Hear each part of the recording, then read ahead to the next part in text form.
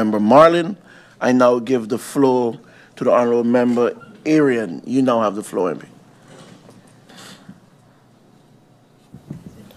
Good morning, all. Good morning, Mr. Chairman. Thank you to the Minister and his support staff for the answers, to the questions posed.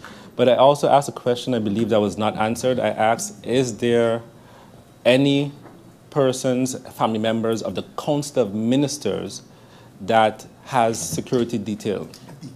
So is there any family members of the Council of Ministers that have extra, extra security provided to them, even potentially 24-hour security? Please, that question was not answered. I heard my colleague said he also asked a similar question.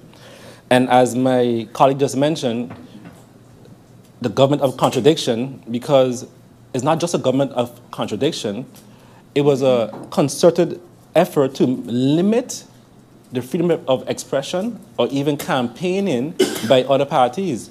Because you, you stated in your previous meeting that you do not, through you, Mr. Chairman, the minister does not make decisions without consulting the relevant stakeholders. But now you're answering saying, yes, we, we, we did not consult with the relevant stakeholders and it's still ongoing. So you did make a, you did make a decision without finalizing that, that discussion. And that decision then only affects a few. A few. Um, and you say now it's by legal affairs. So would you then get advice? So then he has to go to council ministers, so maybe next week Tuesday. So are you going to end public meetings a couple of days before elections? What would be the logic behind that? That we have now, we'll continue with public meetings, but then two or three days before, we'll end it.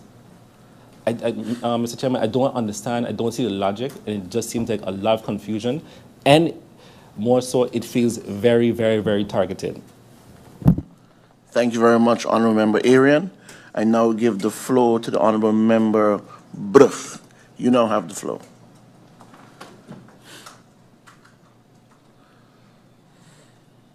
Good morning, St. Martin.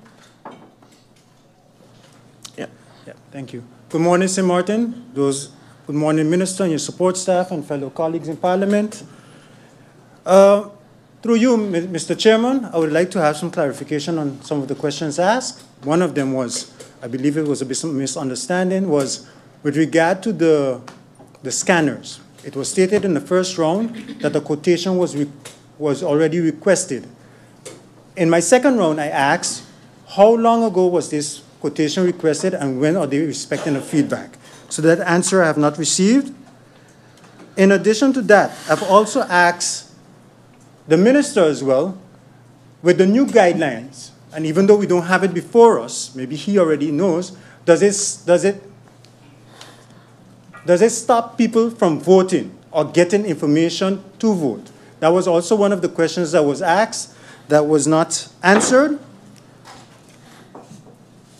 And let me see one more. One second, let me just verify something here.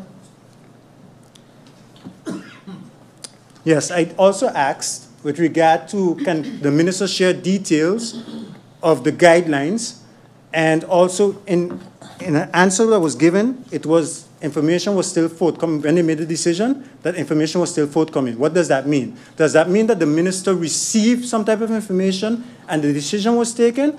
Or, you, you know, so there needs, a bit, there needs to be a bit of clarity as to what brought them to that decision. Because the honorable minister is part of the Council of Ministers. He, he together unanimously with the rest decided that they are going to stop or I don't know the detail. Let me just say they're going to put a pause on the public gathering. What was the reason? That, that's one thing I would like the Honorable Minister to please clarify for us here today. I'll, through you, Mr. Chairman. And that'll be it for, for now. Thank you very much, Member of Parliament Brugge. I now give the floor to the Honorable Member La Cruz. You now have the floor, sir.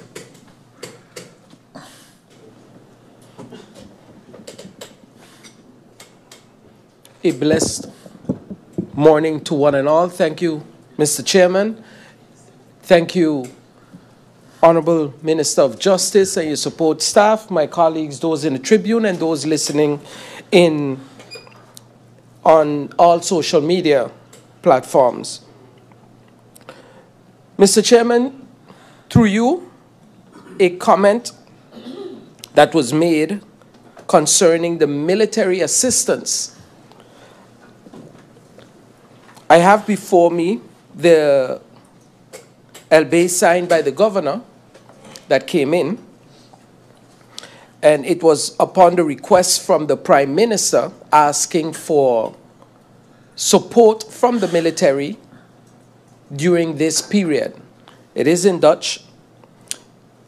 There is a point, point 3, dat het verzoek daarnaast ziet op, het, op de verkiezingsdag bewaken en beveiliging van de stemloketten en het handhaven van de openbare orde door middel van zichtbare aanwezigheid op strategische punten op het eiland. Now, being a person that has served in the military for various years, I know the effect that having the military at specific locations, as is said here, especially the voting polls, can be intimidating and will be intimidating on islands like Aruba and Curacao, where the military is visible almost every day to all citizens, and not like St. Martin. I think this is a, a another form by the prime minister to keep the numbers low and the turnout. I am extremely worried about this because this means that our people will pass by, see military, and think that it is more than what it actually is. You will pass and have a feeling in the in the document it says to literally protect, but protect who? If there are no politicians there, I have not heard of any person ever on St. Martin going to vote and has been attacked because of a specific political party that he is he or she is following. So I want to make it clear to everyone here on St. Martin, please do not let anyone do this. Go out and vote. Do not let anyone go out and vote. So the, do not let any do not let the presence of the military make you feel that there's a threat at the voting polls when you go out and vote. Go out and vote. Thank you. I thank you I didn't want very much, Member of Parliament No, I didn't want to. La Cruz.